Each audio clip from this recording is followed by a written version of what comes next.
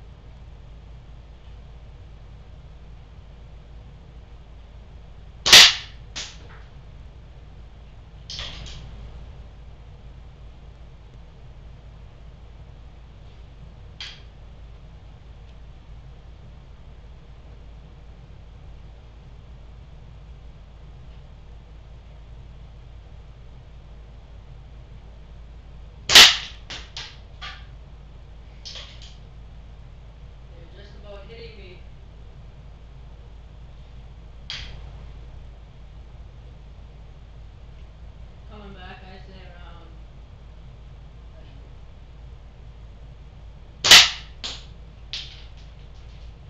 Probably 100 feet per second coming flying back at me. Or 200. And that's dangerous.